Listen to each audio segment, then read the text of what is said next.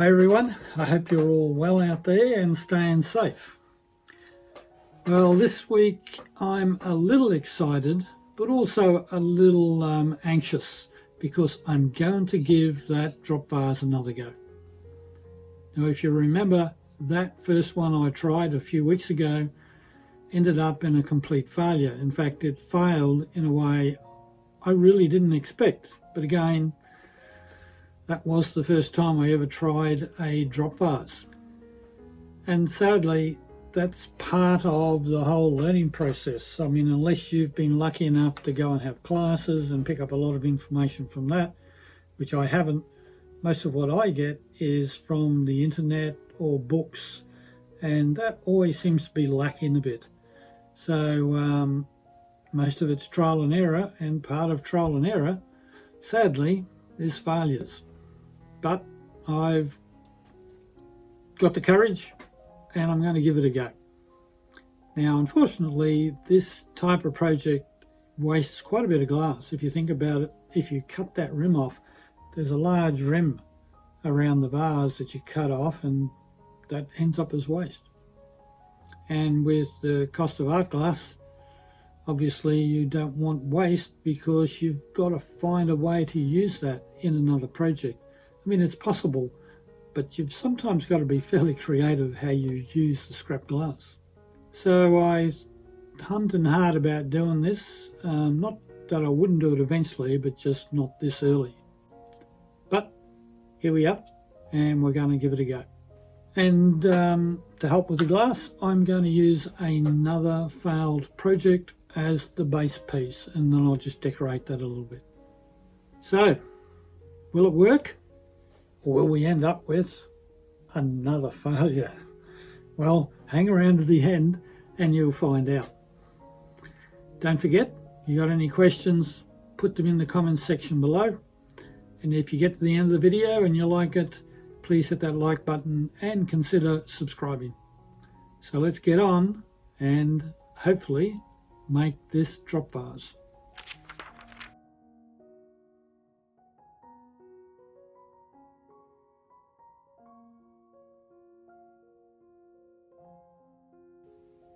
So what I'm going to use today is a piece that I made a while back and it is just basically opal white on black. That's why it looks a bit grey and then it had some dots down the bottom down here. I had intended doing more with it but the white I should have used um, opaque white on there. I would have had a, a crisper white. So anyway, um, to do another test of this drop mould, I didn't want to go to a great deal of trouble with some design um, and I thought this is a nice simple way of doing it. So I'm just going to use this piece. I'm going to decorate. I've got little bits of vitrigraph here and some dots and this piece originally had blue dots in it and I cover them up with the red ones and hopefully hide the blue because the center part is pretty much what's going to stretch and this just fits this mold. So I'm going to actually push a little bit more into the middle there, concentrate it a little bit more. Now, you're probably wondering, I've got a square piece here. I'm going to put it on that. Some time ago, I vaguely remember seeing somebody do a video or seen it somewhere. Well, they actually did use a square piece and the corners slumped down they didn't go right down, so it didn't, didn't trap the mould itself. But what it did do is it anchored the piece on the top so that it didn't pull right in. So um, hopefully that's what's going to happen here. Who knows? We're all in for a big surprise. Well, hopefully a nice one.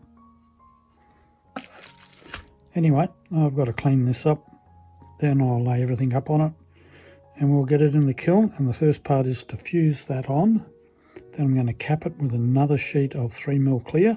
So we'll end up with um, 9mm thick nice thick piece that we can then use to do our slump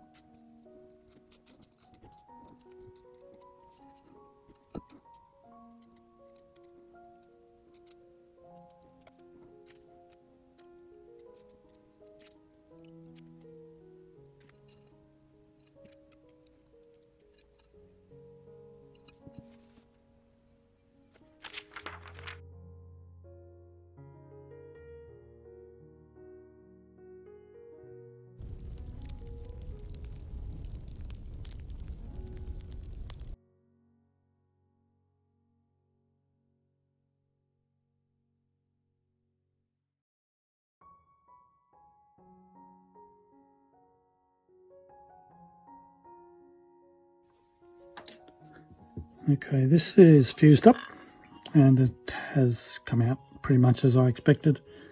Um, we've got some little bubbles in there. And I think that once it stretches down into the vase is going to have some interest to it. And I'm interested to see what happens with the bubbles, whether they also sort of stretch out. Now I'm going to sandblast the back of it because I want the inside of the bowl to have a um, satin sort of finish to it, just to give it something different. I'm not going to do anything else to this other than clean it obviously. Now when I do put it on the um, this ring mould, I've got some Thinfire paper that I've cut here that um, will go on it and I'll give you a shot of that very shortly. But the first thing, I'm going to go and sandblast the back of this and then I'll clean it up and we'll put it up on the mould and get this thing going. By the way, if you remember the last attempt, I am not going to be going too far away from the kiln. I'll be watching it as well, actually, long before it gets up to the uh, processing temp, and um, we'll see what happens.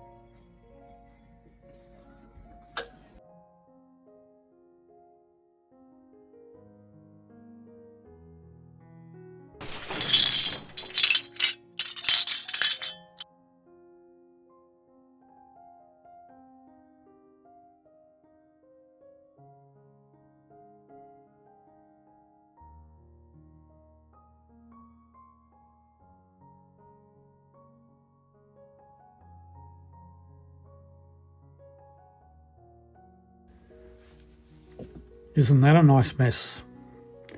Um, Anne actually heard this when it broke. Um, it had gone through the entire cycle.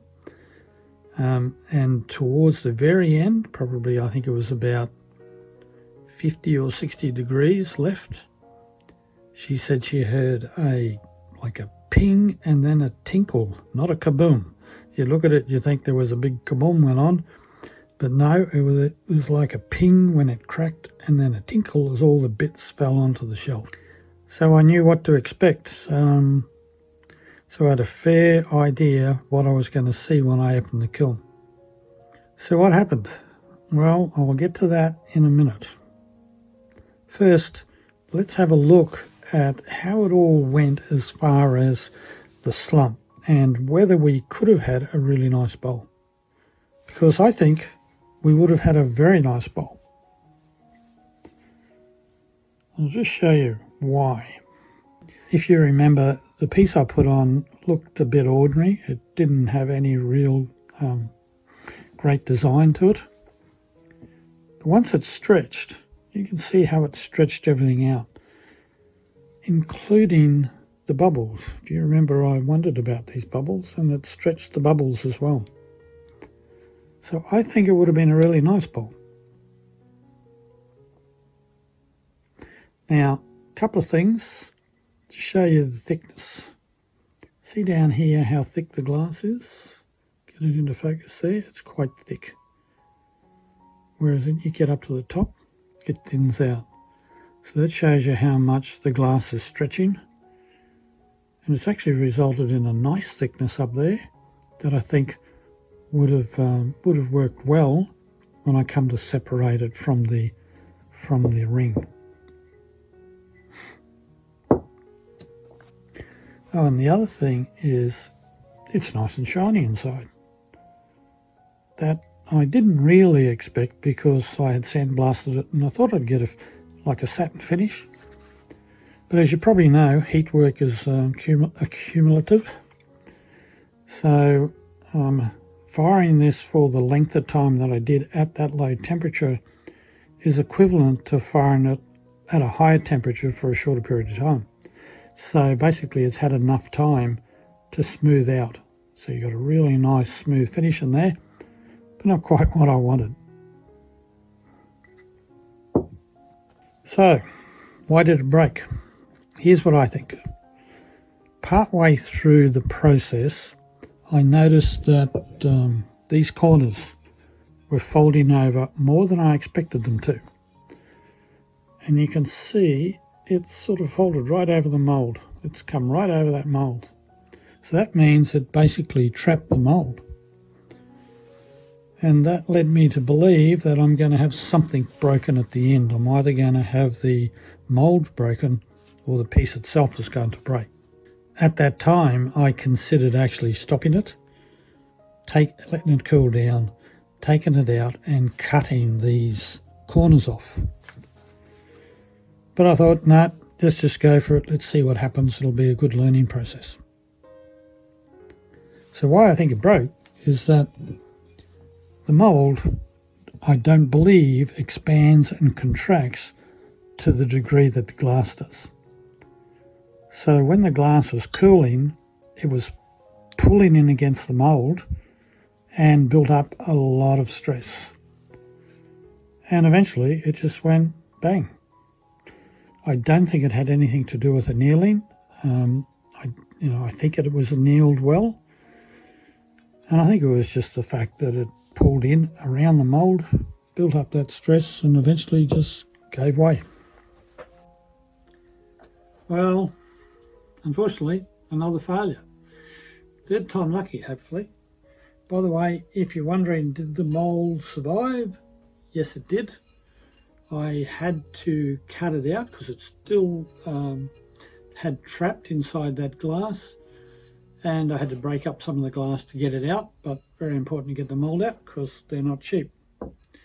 Um, the other thing that I must mention too is with this um, fold over here something I realized that that was going to make life a little difficult for me in that because of where it was, it was going to be very hard for me to get close in around, I hope you can see that, close in around the, um, the bowl to be able to separate the bowl from the ring.